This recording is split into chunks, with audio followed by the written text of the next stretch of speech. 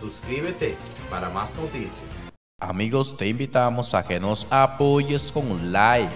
Los supervisores del programa Superate están realizando varias visitas a los beneficiarios de la tarjeta Superate para detectar cuáles de estos beneficiarios tienen problemas con el cobro del bono luz y el bono gas. Recuerda que son muchos los beneficiarios de esta ayuda están teniendo problemas a la hora de ir a retirar varios de estos beneficios.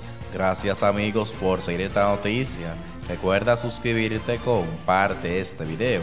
Nos veremos en una próxima noticia. Muchas gracias.